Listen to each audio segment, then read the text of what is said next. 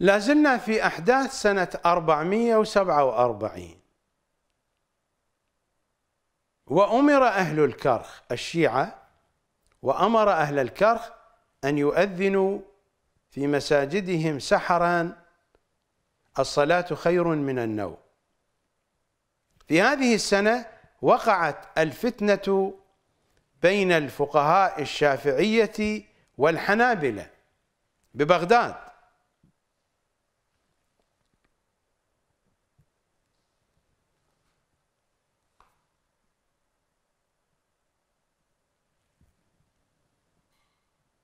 وهجم الحنابلة على الشوافع. لماذا؟ إنهم ينكرون عليهم الجهر ببسم الله الرحمن الرحيم. لأن الشوافع يجهرون ببسم الله الرحمن الرحيم ويعدون البسملة جزءا من الفاتحة في صلواتهم.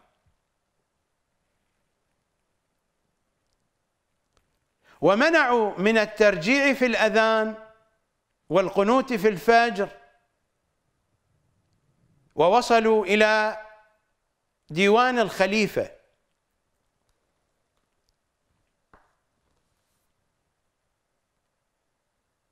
ولم ينفصل حال وأتى الحنابلة إلى مسجد بباب الشعير فنهوا إمامه عن الجهر بالبسملة فأخرج مصحفا وقال أزيلوها من المصحف حتى لا أتلوها. الخلافات قائمة بين هذه المجموعة وتلك. في حوادث سنة 448 لا زالت الحوادث متصلة. وفيها أمر الخليفة بأن يؤذن بالكرخ والمشهد المشهد هو المشهد الكاظمي. المشهد حينما يطلق هنا في كتب التاريخ في ذلك الزمان يراد منه المشهد الكاظمي وهو في الكرخ. الكاظمية أين؟ الكاظمية في أطراف الكرخ. إنها مقابر قريش. وفيها في سنة 448 أمر الخليفة بأن يؤذن بالكرخ والمشهد وغيرها. الصلاة خير من النوم وأن يتركوا حي على خير العمل. ففعلوا ما أمرهم به خوف السلطنة وقوتها. فأخذت المساجد الشيعية وحتى في مشهد الكاظمين يؤذن بالصلاة خير من النوم في أذان الفجر ورفعت الشهادة الثالثة ورفعت كذلك عبارة حي على خير العمل. هذا كله في أجواء السلاجقة. ولذا فإن الطوسية لما ذهب إلى النجف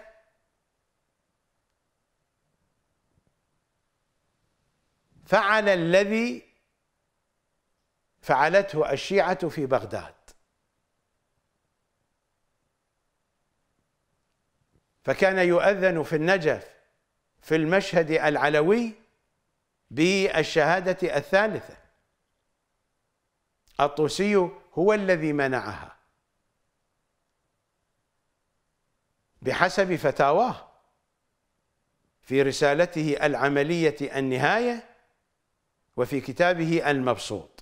هذا الكلام سنأتي عليه تباعا بحسب تسلسل الأحداث والوقائع التاريخية. لكنني أشرت إليه لأن الكلام يرتبط به هنا. وفيها في سنة 448 أمر الخليفة بأن يؤذن بالكرخ في المناطق الشيعية والمشهد في المشهد الكاظمي وغيرها. الصلاة خير من النوم وأن يتركوا حي على خير العمل. ففعلوا ما أمرهم به خوف السلطنة وقوتها.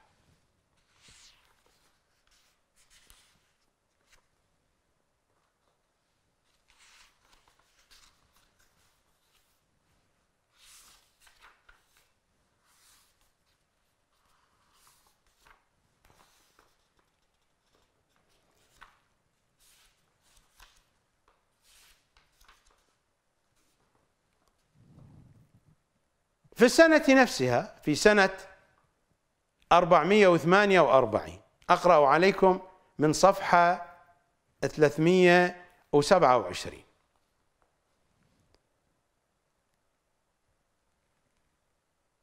هذا الحفل حفل زواج في هذه السنة في المحرم. جلس أمير المؤمنين القائم بأمر الله. جلوسا عاما. جلوسا عاما لقادته. وإلا ليس جلوسا عاما للناس الذين هم يسيرون في الشارع. فحينما يقولون جلوسا عاما هو في الحقيقة جلوس خاص محفل خاص.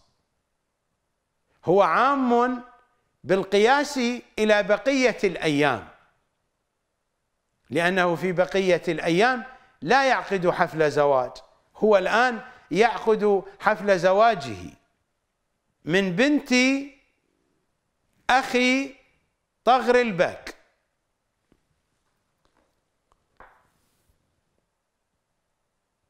في هذه السنة في المحرم جلس أمير المؤمنين القائم بأمر الله جلوسا عاما وحضر عميد الملك الكندري وزير طغر البك وجماعة من الأمراء.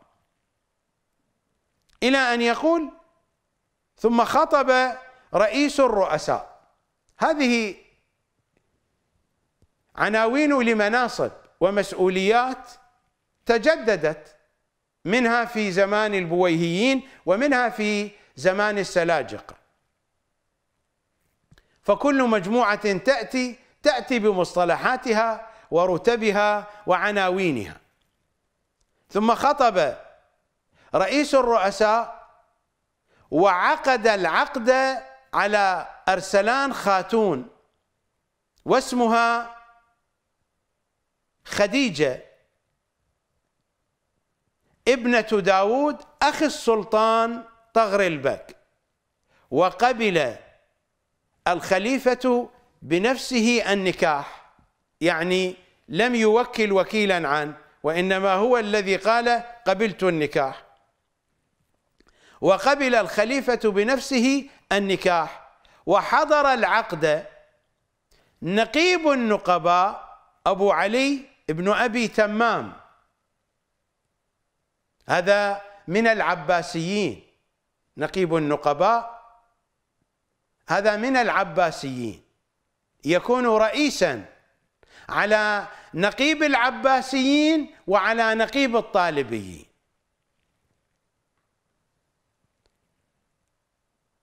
وحضر العقد نقيب النقباء أبو علي ابن أبي تمام وعدنان ابن الشريف الرضي نقيب العلويين. وأقضى القضاة الماوردي إلى آخر الكلام. فهذه حفلة زواج حفلة عرس للخاصة من القوم للأمراء والزعماء من جملتهم نقيب الطالبيين عدنان ابن الشريف الرضي الذي كان يلقب بالشريف المرتضى. مثلما كان يلقب ابن طوسي بالشيخ المفيد. تلاحظون أن المخطط يتحرك بنفس الطريقة وبنفس الاتجاه.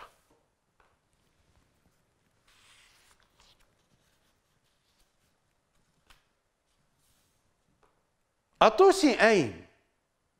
لا ذكر له. عادة في كتب التاريخ رجال الدين لا يذكرون إلا في الحاشية فكتب التاريخ تذكر رجال السياسة. ومن هنا جاء ذكر والد الشريف الرضي والمرتضى وجاء ذكر الشريف الرضي وجاء ذكر الشريف المرتضى. وجاء ذكر عدنان ابن الشريف الرضي. لماذا؟ لأنهم رجال سياسة وحكم.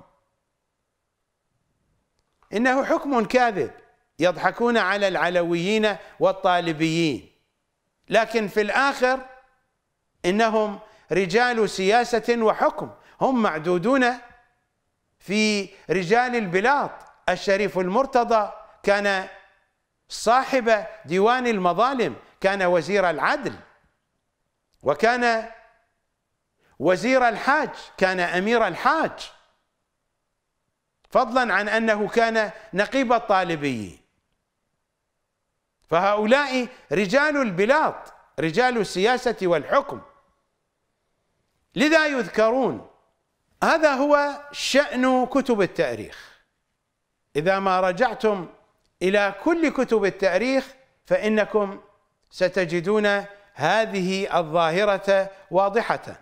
التركيز على رجال السياسة والحكم. أما رجال الدين فيأتي ذكرهم في الحاشية. الطوسي لا ذكر له هنا لأن الذي يتحرك نيابة عنه هو عدنان ابن الشريف الرضي. الطوسي جعله الخليفة القائم العباسي القائم بأمر الله العباسي جعله جالسا على كرسي الكلام. هذه درجة لا تمنح إلا لعلماء السنة. لكنهم يهيئون الطوسية لزعامة مذهب جديد. سيكون أقرب إلى السنة منه إلى الشيعة إذا كانوا شيعة للعترة الطاهرة. أما إذا كانوا شيعة للطوسي فلا علاقة لهم بالتشيع للعترة الطاهرة. القائم بأمر الله العباسي الذي أمر الشيعة في مساجدهم في الكرخ وفي المشهد الكاظمي أن يؤذنوا بالصلاة خير من النوم ومنع الشهادة الثالثة ومنع حي على خير العمل هو الذي أجلس الطوسية على كرسي الكلام. لو لم يكن عالما أتحدث عن الخليفة العباسي بأن الطوسي هذا. ما هو بشيعي حقيقي؟ هل كان أجلسه على كرسي الكلام الذي يمثل أعلى درجة علمية وأعلى درجة دينية؟ في بغداد في الدولة العباسية كلها بحسب ما كان مرسوما في قوانين وأعراف الدولة العباسية. فالقائم بأمر الله العباسي الذي قمع الشيعة ومنعهم طقوسهم هو الذي أجلس الطوسية على كرسي الكلام. وهذا هو الكرسي الذي قيل عنه من أن السنة حينما هجموا على بيته أحرقوه. أحرقوا هذا الكرسي الذي كان يمثل رمزا أن يجلس عليه في درسه في محل درسه بمثابة كرسي لرئاسة الجامعة مثلا على سبيل التشبيه والتمثيل.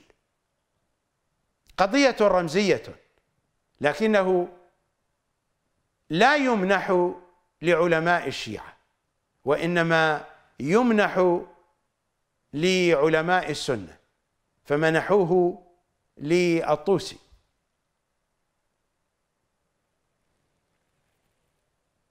الطوسي ذكر بعض الباحثين ولا أملك دليلا على هذا. إلى هذه اللحظة. لكن من مجمل الوقائع يمكن أن يكون هذا الكلام صحيحا. من أن الطوسي خرج من بغداد منذ بداية فتنة البساسير. فتنة البساسير بدأت طلائعها الأولى سنة 446 للهجرة. في صفحة 317 من الكتاب الذي بين يدي في أحداث سنة 446 هكذا ورد في شهر رمضان من هذه السنة من سنة 446 للهجرة. في شهر رمضان من هذه السنة ابتدأت الوحشة بين الخليفة العباسي والبساسيري.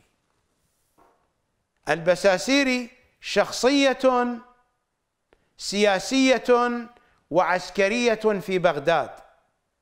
كان مملوكا تركيا من الأتراك لكنه كان ذكيا ونابها فصار ما صار له من الشأن السياسي والعسكري في بغداد. في شهر رمضان من هذه السنة من سنة 446 ابتدأت الوحشة بين الخليفة والبساسير وسبب ذلك لا أريد أن أقرأ كل شيء وسبب ذلك أن أبا الغنائم وأبا سعد إلى آخر الكلام. هناك من التفاصيل السياسية والاجتماعية والاقتصادية التي تحرك الأحداث والوقائع.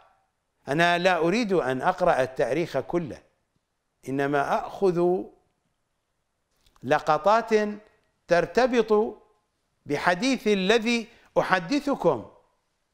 عن كي أرسم لكم لوحة عن الواقع الذي تحرك فيه الطوسي ونشأ فيه هذا المذهب الطوسي الضال القذر.